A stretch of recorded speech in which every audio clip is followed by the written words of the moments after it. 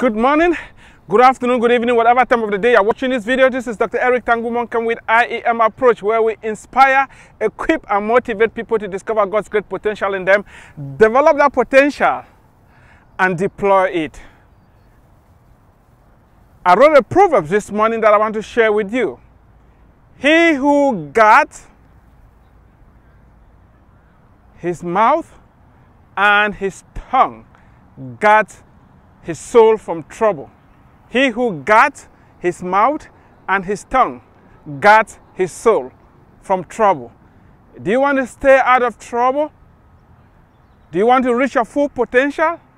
Do you want to become all God created you to be?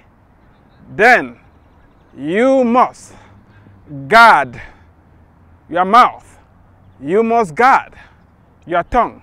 You must guard that which you speak over your life. I'm going to focus on what you speak over your life, not what you speak to other people.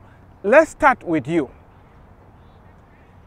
Most of the times, you have an internal dialogue that is going in your brain. You get up in the morning, you want to put on your shoes and go out and exercise. And you hear this little voice in your head telling you, it's too hard, it's too difficult, don't do it.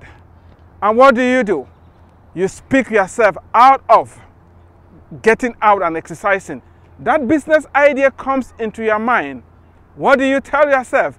You tell yourself you don't have what it takes, you can't do it, and you kill that idea. You are going to run into trouble. You're going to run into poverty, poverty of health, poverty in your relationships, poverty in your intellect, poverty in all areas of your life because you've not learned to tell yourself that you have what it takes for you to do it. Guard your tongue, guard your mouth. Instead of speaking negativity, speaking defeat, you need to speak hope. You need to speak life. You need to speak positivity over your life. If you don't do it, you are going to land into trouble.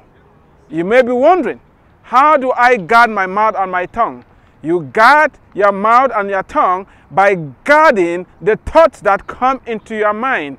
And that has to do with what you read, who you listen to, who you hang out with, and the places you go to.